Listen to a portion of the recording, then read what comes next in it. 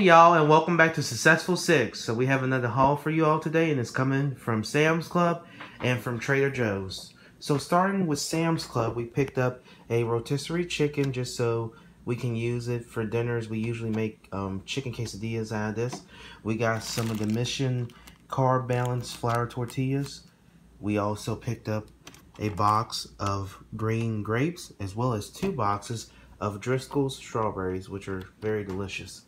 Then we got two um, different types of Taylor Farms. Well, one's Taylor Farms Kickin' Buffalo Ranch Chicken um, Salad. And then the other one is Members Mark, excuse me, Southwestern Chop Salad. So we got two different types of bag salads. It's just quick and easy and an easy way to get your vegetables in. Then we got two bags of chips. We got Ruffles as well as Doritos. And then finally from Sam's Club, we picked up a um, Def Leppard t-shirt as well as some joggers.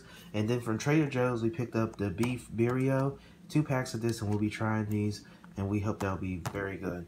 So this is our haul. Don't forget to like, share, comment, subscribe. Thanks for being around, and see y'all in the next one. Bye-bye, y'all.